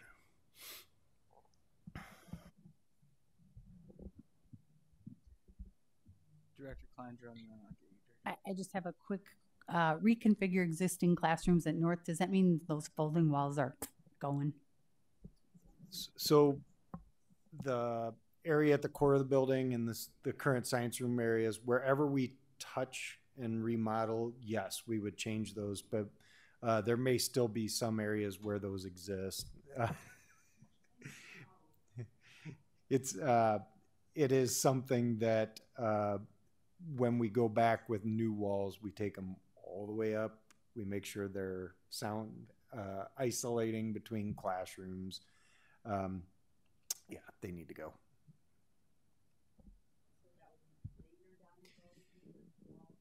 Yeah, they're, uh, from what I understand, the district has changed some of them. There's some that still exist. Wherever we're touching a remodeling within that building, those would go. We would go back with a permanent wall. We would also address any of those other uh, maintenance and repair needs in those areas as we're doing that too. Director. Yeah, I think those portable walls things, that was the idea of a great concept imposed upon teachers that didn't want any part of it. I would assume once we offload sixth graders back to the intermediates, then immediately there's, I mean, sixth graders in the elementaries are taking up three or four classrooms at least. Offload those out, you got a preschool room in every elementary available. Boom, right there. You got to put in little shorter toilets and you got to put in little shorter sinks and get little tiny chairs, you know. But other than that, And, and that's correct. And, and going back to Director Poshton's comment, um, when we unburden space, we, we, uh, there's two things happening. We have some additional students in buildings because we closed some, but as we start to understand what's available, there may be some residual space that easily accepts uh, some preschoolers. We would have to do a little bit of modification for toilets and sinks, but uh, that may be a, a smaller uh, scale solution. You're exactly right um, with that comment. And we have a team right now. We're hoping that this time next year we would be rolling out our a pretty comprehensive plan for preschool, um, knowing that they're most effective in our district in the buildings, um, but also understanding the need for centers. And also, the state is really pushing for preschool centers right now. So there's lots of funding available for those. Um, Tiff, Tiffany Stallcup, Mr. Driscoll, Courtney Olson, and Diane Campbell are beginning with our finance people, with Kevin, are beginning to look at that. Um, we're evaluating how does special education work with general education? How do we maximize the number of spots? Is it one classroom in each building? Is it two? Um, what's the level of support that's needed? And so all of that, all of that work. I would consider that up there. It says phase two, but that's more of a phase one issue. As I would consider that you're spot on that it's a high priority need, and it's going to be something that we're doing right alongside with the ancillary properties, with things of that nature. So, I, and and I'm glad to hear our board say it's a high priority because it is for us as well. And a follow up then. Also, it's conceivable that once the sixth graders are gone and all the dust settles, we may find opportunities to close additional facilities at that level. I would say that we would definitely have the opportunity to revisit our long range facility plan. One of the great things that Bray has done for us is there's pauses built in. And so when we looked at where uh, facility plans have been successful around the state, it's where built in pauses are, are there.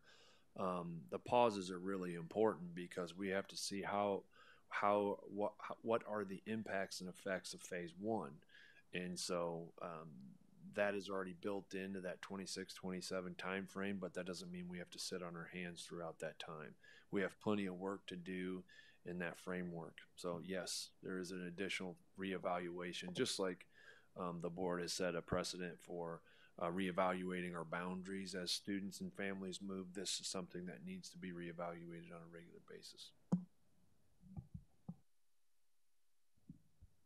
Hang on one second. I'm going to ask a piggyback off of Director Potts. Um, and I think directors uh, Klein, Jerome, and Passion kind of hit on it too. So I'm in my mind, along with what Director Potts was saying, I'm seeing the elementaries are kind of more to the back to see what is available because potentially there could be room for a cafeteria or a space to move that cafeteria when it's not um, full of the sixth graders and things like that. In my construction mind, that's kind of what I'm seeing because you don't want a ton of uh, items that you have to move around and do that because then you're, you're just creating more work. When if you let the dust settle, then you kind of have and see what you have, and then look at building efficiencies even more in depth. Because we've already said we're focusing on the junior high level, which that's there, and then we'll have to look at some of the other things. But I'm just in my mind, I'm seeing that's kind of why that stuff was a little bit later to see where things were at after the other things got moving. I, I think that's correct. Um, as those sixth graders move out, then uh, kind of verifying where our enrollment is going for each of those buildings and how that affects the use of uh, curriculum and program spaces in those buildings will give us a better understanding of the efficiencies you can gain. And it will be different for every single building uh, because the uh, enrollment uh, will vary and the size of building and the space available varies building to building. But uh, I, I think you're spot on. Director Beck. Um, yeah, I was just going to say, um, I think I, I agree with what's been said about making preschool a priority. We've been talking about it for a long time. Um, and I guess I like the idea of sort of taking advantage of the space that's there to at least get the preschools going. And then as long as we can do it, you know, with the right standards and everything. Um, and then, you know, we can sit back in phase two and say, okay, where do we need to modify this plan? Because I agree with Director Poston that the earlier we get the kids into school, the more likely they are to read, the more likely they are to stay in school, and the fewer problems we'll have, everyone will have down the line. So. Director Potts. Two things and I'm done. One, we also need to remember we have a K 8 issue in the West that we're going to have to deal with, which will certainly increase our attendance at board meetings. Second thing, and this is a question, is like, if I remember when when my mutts were in elementary school at lunch, they were outside a lot. They ate and they were out. So the the time that they're spending in their eating spaces is not very long, and then they're out. And I think if it's in, I think it's like, I mean, those kids. When I look out of my office window at Sutherland, Washington, it was cold out, and they're outside, winter coats, and they're outside. And if it's that worse than that, don't they? The the, the buildings that have auditoriums, they went to the auditorium and watched a movie or cartoons or you know Roadrunner. so I, I, I would think if we start looking at elementary cafeterias or whatever, we, we we probably need to maybe I don't know do a little cost benefit. How much time are they going to be there? Uh, they don't. I mean, it's not like they don't even have kitchens really there. Food's prepared and brought in in most of the places. So they come in, they eat, and they're out the door. Uh, in the junior highs, we last bunch of years we haven't had the opportunity to go outside just because the the feeding regiment was such it, it was very regimented and we've lost our places to go outside actually and had nobody to supervise them when they were outside except you could wave as they ran down the street one of the things I can address with that is less about the seating space and more about the service space. Just uh, having multiple line opportunities to get kids moving through there that uh, was identified as a problem in both smart and Sudlow. It, it is very troubling to have a lot of kids cycling through a single service line. So if we can get it set up for two lines of service it'll help that flow and improve that sequence. So that's a lot of what you're saying there. Director hayes. Thank you so much. I was actually, you kind of answered it then. I was wondering with the larger cafeterias, would that reduce the the different schedules or shifts that they go to lunch? Another question that I had, thank you for that also. Another one is on slide number 18, that front larger red area. Is that like the flexible area that you can use for on the south side of the of the um, the front area there? Is that the more of the um, flexible area? part part of that was an idea that uh, getting and that that footprint is probably a little bit too big, uh, but getting a, a media center community space up front in the building, and and the idea is it's it's more visually a focal point. It becomes part of that aesthetic solution from that 53rd Street side of the building. But what it also does is it creates an opportunity for more community use in that space in a secure setting where if it's near the exterior of the building, you can get egress and ingress to that space without opening up the whole building. Currently, that media center is tucked into the heart of the building, so wayfinding to get there can be a little bit of challenging. Uh, also, it does mean that anybody that gets to that current location gets anywhere in the whole building as well. So, uh, this tries to create a more uh, uh focal point on the exterior, more available to the community and, and families to use. And then uh, again, just part of that strategy of solution of, of that aesthetic improvement to the facade of the building.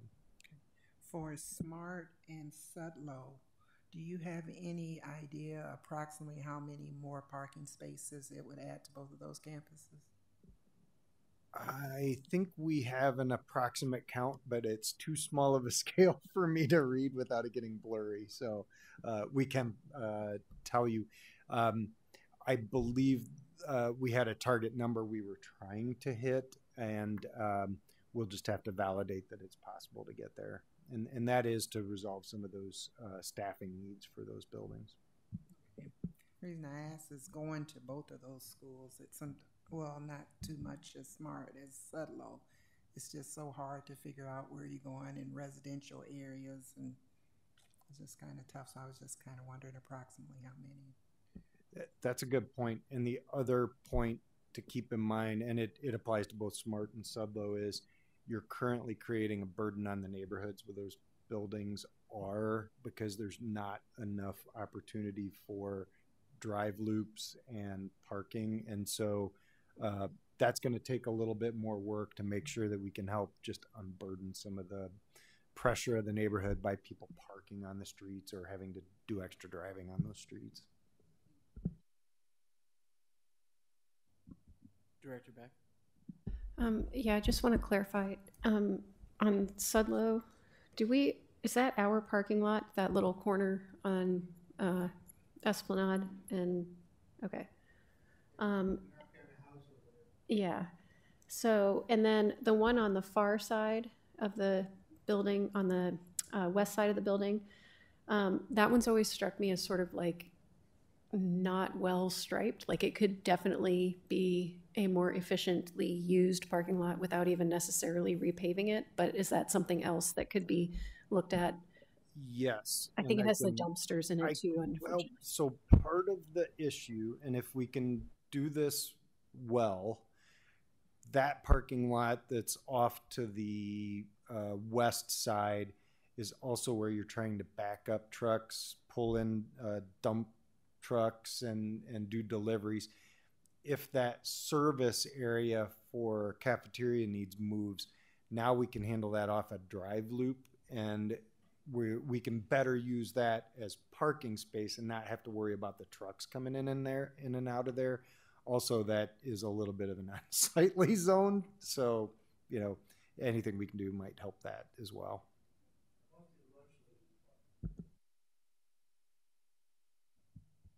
Director Poston. Well, both on, on Sudlow and Smart, it, it just seems to me that uh, with the addition and everything, everything still looks pretty tight. Now, your what is your thought on the green space there? I mean, is there a formula or whatever you use for uh, uh, the amount of green space you need for that site?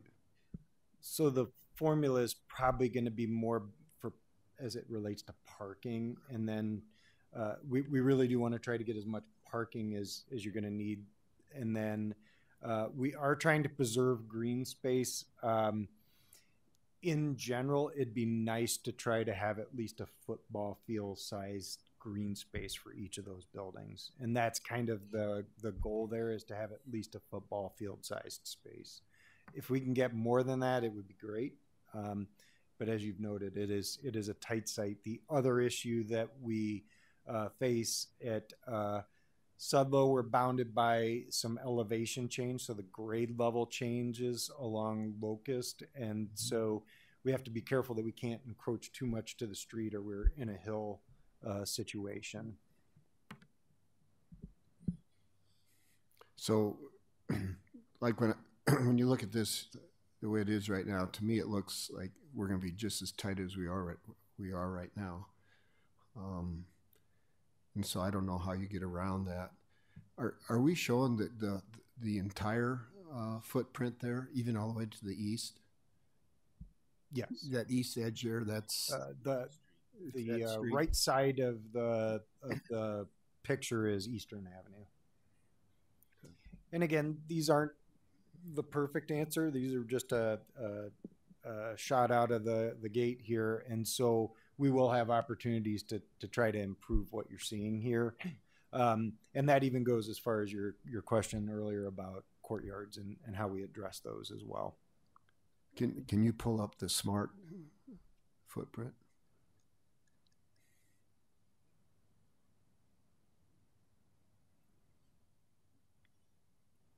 And to me, you know, we're we're dealing with the same thing here now.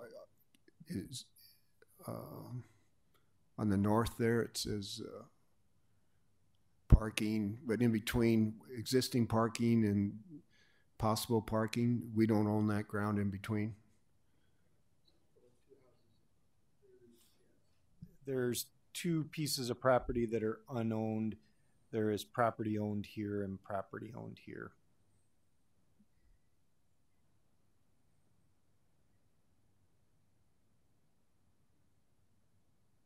There is currently some hardscape space here that we're trying to pull down and nest in with all the other outdoor spaces so those can be grouped together. So uh, again, creating some opportunities for playground, basketball, things like that. And then the other the other approach here is that this addition is attempting to navigate the fact that there's a, a, a grade level issue from the main entry to the building uh, down to this sidewalk. So creating a, a grade level solution here so that you're you're walking in at grade level. That movement uh, across the street is kind of all at that same level, and our touch points are where we handle those elevational changes from from floor level to floor level. But do we want our, our green space and, and uh, open area right up against Fourth Street?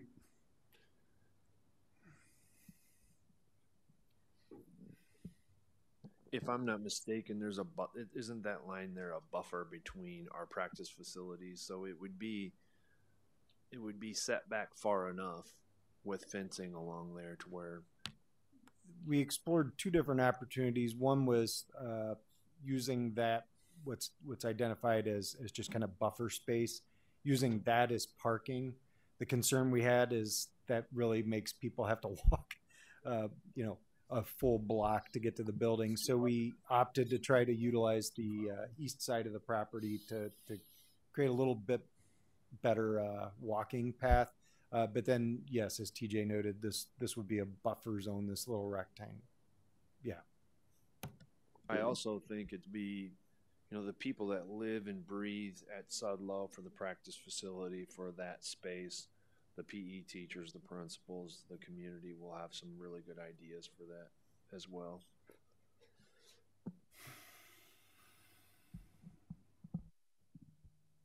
Director Beck. Um, that brings up a good point, um, because I think, you know, I know I mentioned that, that, that, you know, we've got track teams at every middle school, but they're trying to do hurdles on a sidewalk, which is just terrible. Um, and it, oh, I can't watch.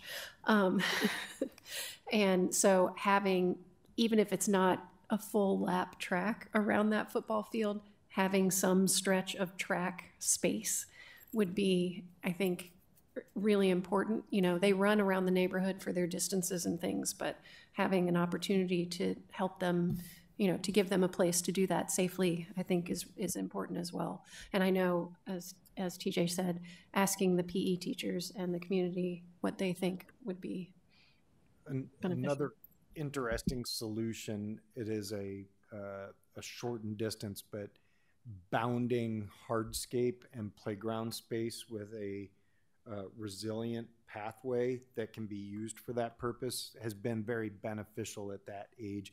It doesn't have to be a full quarter mile, um, so it might be a, a, a shortened, you know, 200 meter or something loop, but that, uh, and it may only be two or three lanes versus, you know, six, but that's been very beneficial because that might employ some of the same uh, material that's already going to be on the playground anyway.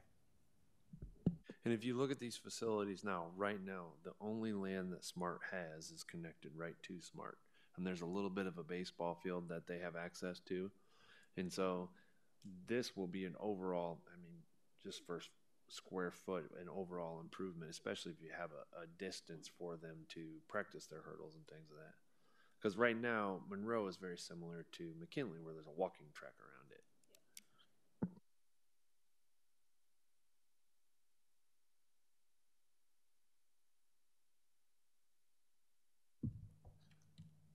I'll ask my questions now. Um, and no one actually really touched on this part, but I, I appreciate the fact that the elementaries were included.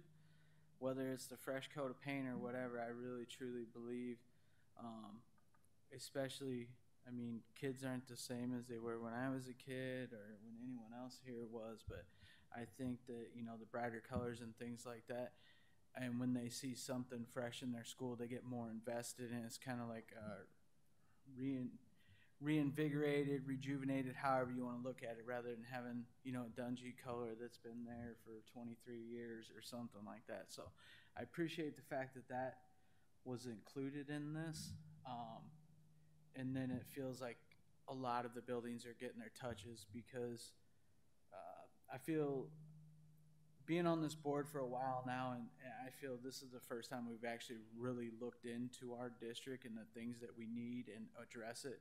And clearly, there are so many needs that we're not going to be able to do them all at once. But I think um, kind of the direction you guys have it laid out now, I think that's a big impact to show our community that we are investing in this because we will have to go out for a bond probably to get some other things done. And I think when people see that, you know, we put up the money to front a lot of this, and then if we go back and I think it'll be a little bit easier of a sell that hey we are putting our money where our mouth is. We're investing in the kids in the district uh, trying to give you know some of these areas because each school is its own little community.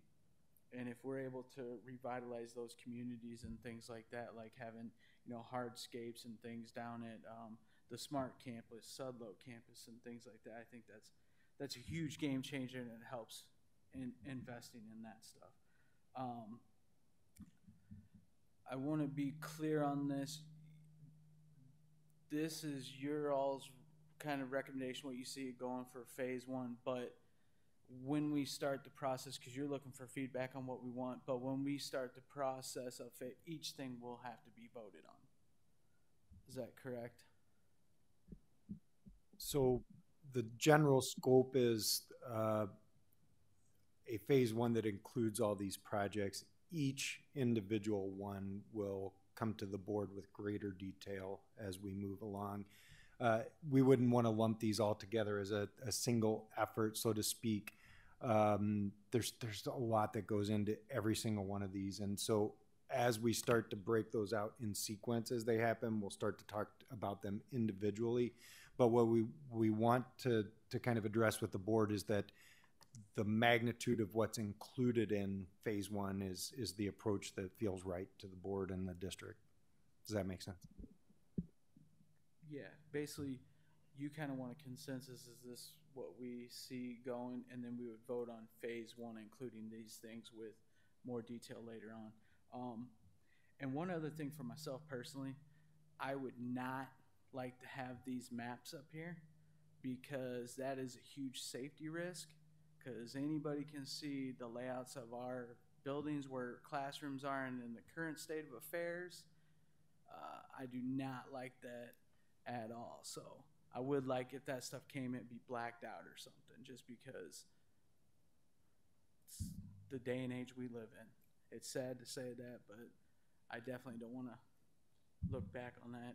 You know, eh, I'm sure any of my colleagues here wouldn't want that, and I, I understand that we have to put some of that stuff out, and I would love to check with our attorney on some of that stuff because some things. I mean, maybe we can talk about it in a different setting, but I don't think that that stuff should be blasted on the news or you know the paper or anything like that. You know, because we don't want to put anybody at risk. It's my personal opinion. Um, so what I'm gonna do now, kind of go around unless anybody has any other questions and kind of get a, a consent. Hang on, let me get that out and then I'll Yeah, go to and then get a consensus on um, if people are comfortable where the phase one plan is at or some things they would like to see. And uh, Director Kleindolph has a question. So how soon will you be bringing this to the board for us to vote on? And are we voting on something that looks like that this is phase one? Or are you gonna say, here's what we are going to do with SMART, and we just vote on that? And here's what we're gonna do with Sudlow? Or is it all encompassing of the phase one that we were presented tonight? And how soon? Well, I think, I think we want the consensus of the direction. So if this is the direction we want to go, we've gotten some pretty good feedback. We've got some things to consider during phase one. Um, obviously, if we're going to do the renovation of SMART, what we're looking for is this the timeline. Because in order for us to get this done by 2026, 2027, we've got to get going right away. Um, we have to start calendaring things. We have to start getting things moving. So essentially, this is what we would like to approve as a calendar of timelines, and then from there, be able to bring forward the scope of the work, individual projects, things of that nature. So what we're requesting, and help me chime in here, what we're requesting is that, that this is the, the, the direction that we should go.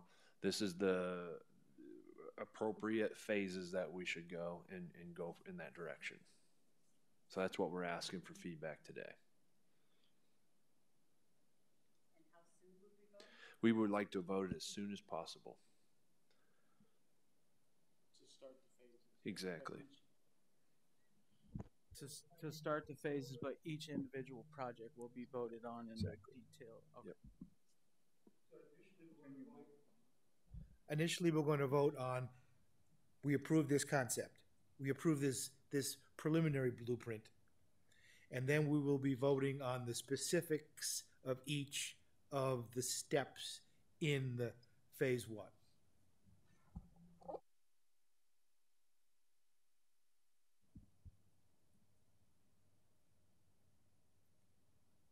I'll start with Director Hayes. I agree with the plan as it's laid out. One question I forgot though, with the um, two buildings, Washington and Monroe, does the monies that you mentioned include the demolition of that, or is it something that we'll give to a group, a fire department or something to practice and?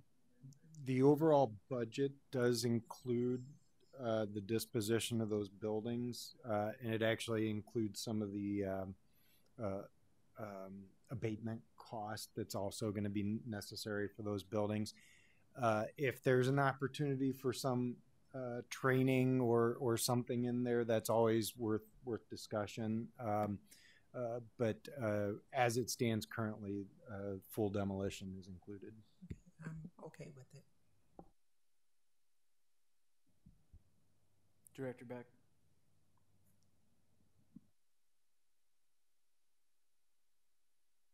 I mean, I'm fine with the proposal. I mean, the way we've laid out the proposal, yeah. Or the idea for voting on things. Um, Director Kleindolph. Um, I still have some concerns about some elementary buildings not having a cafeteria. Um, but overall, uh, I guess I agree with if we push the athletic stuff to the last point and focus on the Sudlow North, Smarts, the actual buildings before we jump to the other things. Um, and just one quick question, are teachers going to be able to pick what kind of classroom furniture they get? Or is it gonna be, everybody in this building is getting this kind of furniture? Or like, can they have desks if they want desks versus tables? I think it would be important to establish a district standard. Um, No desks? and so, I, I, well, I, th- I think it's important to establish a district standard. Is that what you're saying? To, to just say here's a catalog order, whatever furniture you like? Well, if we all want desks or tables, then that's one thing. But maybe I don't want tables, I want desks. Do I get that option to say, yeah, I'm not gonna, I don't want those tables? So that's that's going to be something that we have to work out. I don't Okay. have an answer for that. I know in the past when we tried to accommodate each teacher, and then the teacher moves, and then it's very difficult inside of a, a district our size to accommodate that. That's why, in the past, we moved forward with a district standard. Okay. There are different technologies um, that allow for collaborative learning and individual spaces. Because I know the question that you're you're you're asking, and so I think there's technology out there that allows for both. Okay, yeah, so I can live with this. There, there's a lot of strategies that can be had there, and that's a that is a probably a much later conversation, but will happen during the process of design. from from my standpoint in the warehouse and i think some people work out as far as deliveries it is nice to have a standard set like we talked about and then i can keep 10 chairs 10 tables that have three different colors that we can shift throughout the district if there's a need rather than just a if you walk into some buildings i'm sure you've seen it there is just a mix of whatever we got and we've put it in there in the past. So we're trying to go away from that. Director Potts, I'm good with it. Director Poston,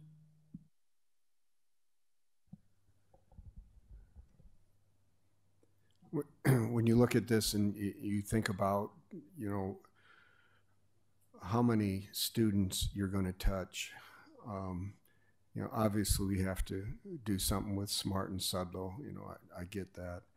Um, but I still feel that with the caf- some of the cafeterias and with with preschool, um, you know, we've closed three elementaries we need to also do something with the elementaries, and this is where we'll get the most um, exposure to uh, as many um, students as possible and have more of a direct effect on the students. So I, I would just like to see that moved up. I know it comes down to dollars and cents after a while, too.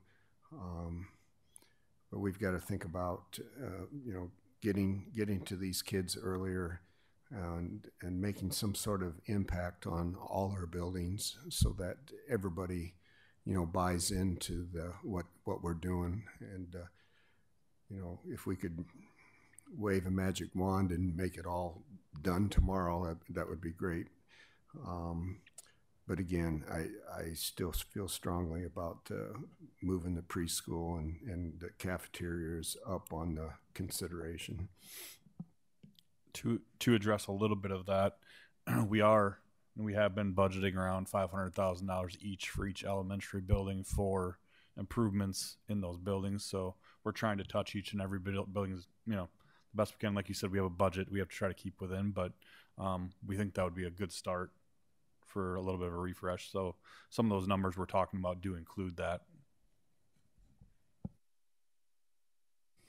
and that's good. I mean, that that's fine, but I'm still thinking about, you know, we keep talking about put the money where where we can do the most good with the kids, and if there's something else better than having more preschool, then you know, tell me what it is. Um, so I think we we can we we still need to focus on that, and. Uh, if we if we want to correct some of the issues that are going on, whether it's our test scores, attendance, let's get a hold of these kids earlier on so that they, you know, are instilled in them, you know, what they need to do and, and to, you know, get the best possible education that they can.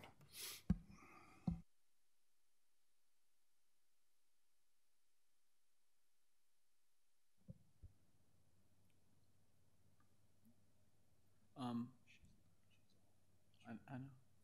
Um, I'm good with as presented. I would like to see the timeline on when you're looking at doing the preschools and things like that. Myself personally, I think when you go to a district and invest, you're invested in the high school because that's the high school you want to go to. Um, it's just been what I've seen with all of other parents coming along now. Um, but I do, we do need to have that touch in the elementaries and things like that. And I understand we have to wait till something's moved out to free up that room because I would hate to go build something brand new there and then the kids move out and then we got a bunch of empty rooms. Um, and I think we are going to have to look at some other buildings too along the way and doing some of these things will help us uh, figure out our deficiencies and where we can make improvements and things like that. So, um, along those lines, is there anything, any other direction that you all need from the board or questions? Um, I would just like to clarify, but just, um, Director Gordon stepped out to go to her students' conference. That's why, uh, we're, we're not calling on her, but we'll get her feedback at, at a different. But thank you for being considerate Bruce. Um, so for us, for us, the, the feedback that we've received is, let's see a plan for preschool, which is outstanding. I'm glad to hear our board prioritizing that. And then what, analyzing the needs of our cafeterias and those spaces, but also um, a timeline, which I think we have worked that out and we have recommendations for that uh, as well. And so that's the feedback that I think we've heard from the board, and we'll we're we're going to employ a um, a Gary Sinclairism, as we can do anything we want, we just can't do everything we want, and so we are going to do the best to prioritize um, those needs because we think they're important as well. Um, so it's been a very very beneficial um, night for us. And so I, I, Josh, or is there any, Josh and John, is there any other things that you think you need from the board? No, Or I think, Kevin? I think that was pretty clear. As we were sitting here, Suzanne Gerlach emailed me, so we're going to be connecting tomorrow.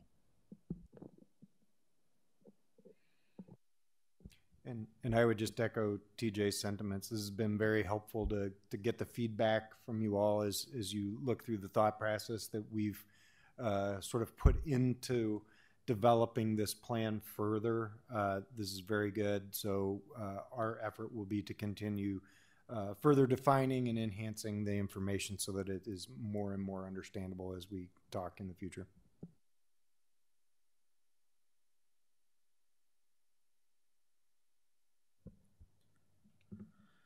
Thank you all for the great presentation. Board members, thanks for the input. And with that, Director Potts, I would entertain a motion to adjourn. Is there a second? Second. All those in favor say aye. Any opposed, same sign. Ayes have it. Meeting adjourned.